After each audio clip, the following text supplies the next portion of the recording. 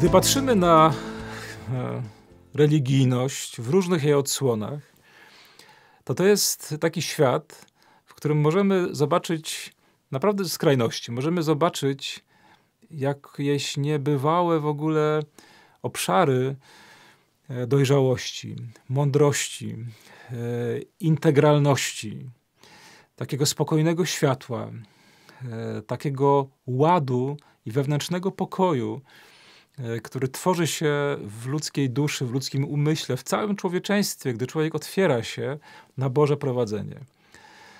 Możemy też zobaczyć e, przejawy wariactwa, jakichś totalnych odpałów, e, szaleństwa, wymyślania, wmawiania sobie czegokolwiek i wmawiania czegoś innym w imię jakichś religijnych idei i, i szaleństw. Bliżej czego się znajdujesz dziś w swoim życiu? Może tak być, że e, kogoś spotka bardzo krzywdzące, e, krzywdząca ocena ze strony innych, że ty to w ogóle jesteś szurnięty, skoro ty wierzysz w jakiegoś Jezusa, wierzysz w jakieś życie wieczne, e, w jakieś życie duchowe.